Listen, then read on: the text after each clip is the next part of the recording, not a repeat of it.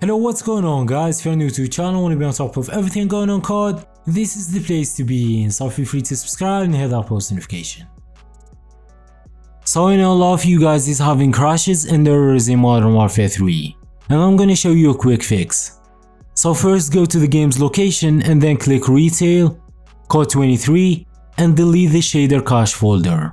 And then go to your documents folder and delete the Call of Duty folder and then type in on the search bar percent %10% and then delete everything in this folder and then scan and repair your game and this fixes it for you, you're ready to go now. Anyways guys, thanks for watching, see you on the next one.